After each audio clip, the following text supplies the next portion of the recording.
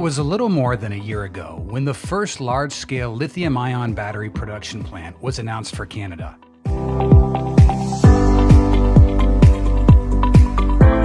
Stellantis NV and LG Energy Solutions announced the joint venture, and there was no looking back from day one.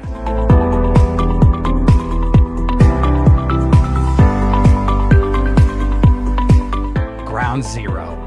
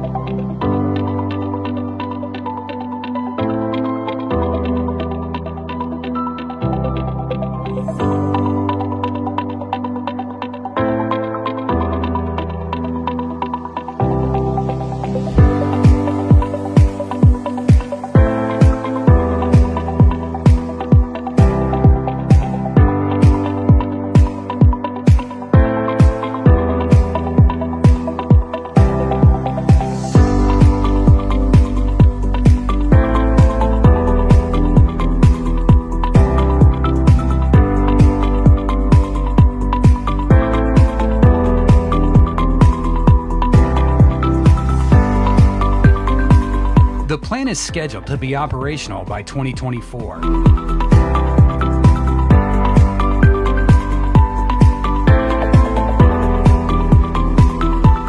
Twenty-five hundred jobs will be created on what is the largest single automotive investment in Ontario's history, with expected spin-off jobs to be as high as 10,000.